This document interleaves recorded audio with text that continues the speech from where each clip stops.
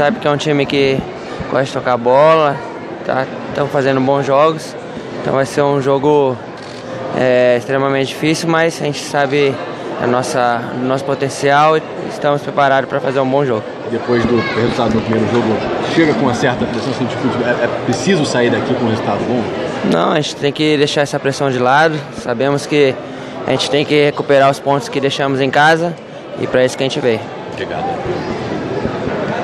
Bom, um adversário que é uma equipe difícil de se enfrentar aqui, né? Mas nós estamos preparados, esperamos, é, vamos amanhã é, conhecer o gramado, né?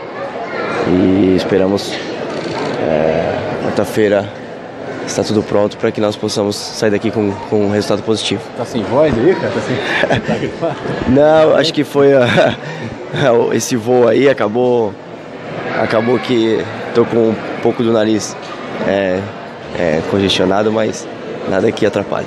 Valeu.